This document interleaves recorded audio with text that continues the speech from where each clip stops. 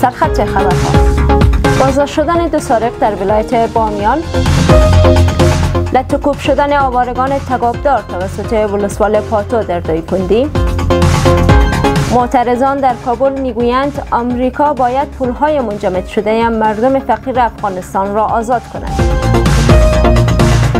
کابینه سرپرست طالبان برای خانواده های شهدا و افراد دارای معلولیت کمک های نقدی توزیع شود. و ایتالیا برای مهاجران افغان بیش از 21 میلیون یورو کمک می کند.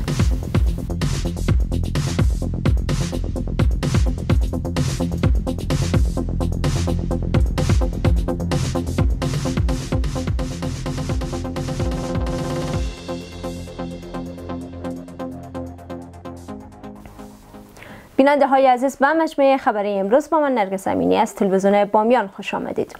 به گفته محمد خوانی رسا سخنگوی قماندان امنیه بامیان این دوزدان ساعت 9 قبل از ظهر امروز در هنگام سرقت مسلحانه در ساحه پشت بازار از مربوطات حوزه دوم امنیتی شهر بامیان دستگیر شده است.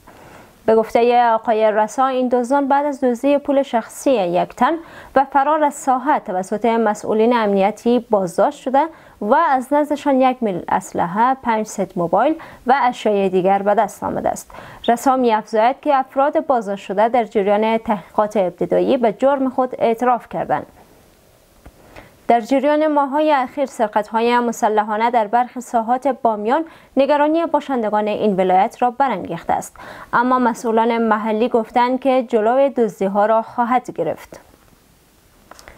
شماری از باشندگان قریه تگابدار ولسوالی پاتوی دایکندی مدعی هستند. روز گذشته از سوی مولوی محمود مسافر ولسوال طالبان برای این ولسوالی مورد ضرب و شتم و توهین و تحقیر قرار گرفتند. طبق گفته های منابع محلی تعداد از بیجا شدگان کج اجباری قریه تگابدار به تازگی دوباره به خانه هایشان برگشته بودند که با واکنش تند ولسوال و نیروهای نظامی او مواجه شدند. منابع محلی و رسانه ها گفته است به تعداد هفت نفر از سوی ولسوال و افرادش به شدت مورد لطوکوب قرار گرفته و از خانه هایشان بیرون رانده شدند. به نقل از منابع وضعیت جسمی شماری از افراد لطوکوب شده وخیم می باشند منابع می افزایند تعدادی از آن آوارگان از سوی افراد ولسوال بازداشت و تحت شکنجه قرار گرفتند و صبح امروز شماری دوباره آزاد شدند. این آوارگان علاوه نمودند ولسوال زنان و مردان را با چوب و شلاق مورد لطوکوب قرار داده و تهدید نمودند که در صورت کدام عریضه و شکایت از سوی افراد این گروه مورد توبیخ بیشتر قرار خواهند گرفت. رئیس دفتر والی دایکندی می‌گوید دروازه ولایت دایکندی جهت درج عرایز برای افراد متضرر باز بوده و آنها می توانند عرایزشان را درج نمایند و طبق اصول رسیدگی و با متخلفین برخورد جدی خواهد شد. شماری از پایتخت نشینان امروز سهشنبه سی قوس به دلیل مسدود ماندن پولهای افغانستان و مشکلات اقتصادی تظاهرات کردند. این معترضان از آمریکا خواستند که پولهای مسدود شده افغانستان را آزاد کند. این معترضان که تعدادشان به ده تن می رسید از منجمد ماندن پولهای کشور انتقاد کردند. آنان معتقدند در شرایطی که مردم افغانستان با مشکلات اقتصادی دست و پنجه نرم می کنند آمریکا باید دست از ادامه تحریم ها بردارد و پولهای افغانستان را آزاد کند. این در حالی است که با سقوط حکومت پیشین آمریکا حدود 9.4 میلیارد دلار از سرمایه های افغانستان را مسدود کرده است.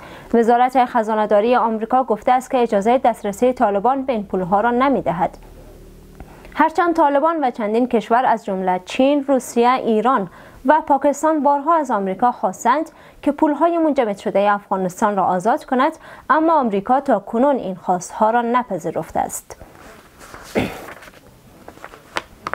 کابینه حکومت سرپرست طالبان در نشست روز سهشنبه سه قوس فیصله کرده است که به خانواده های شهدا افراد دارای معلولیت و یتیمان کمک های نقدی توزیع شود.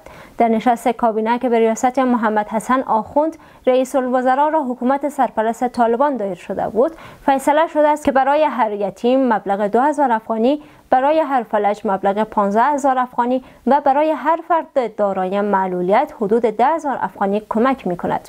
از سوی دیگر کابینه طالبان تاکید کرده است که برای رسانیدن کمک های زمستانی به ساحات دور افتاده و حل مشکلات گدایان حرفه‌ای یک هیئت با اشتراک وزارت های شهدا و معلولین، مهاجرین، اداره سرمیاشت و وزارت دولت رسیدگی به حوادث تعیین شده است تا اقدامات لازم را انجام دهد.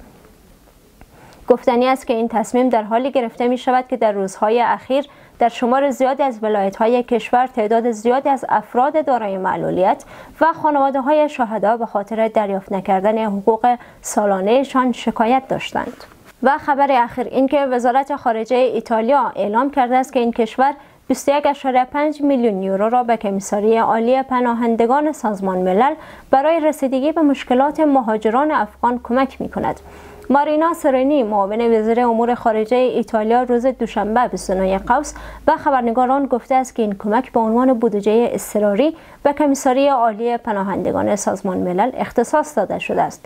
به گفته او این پول برای فعالیت‌های بشردوستانه در افغانستان و کشورهای اطراف آن به مصرف خواهد رسید.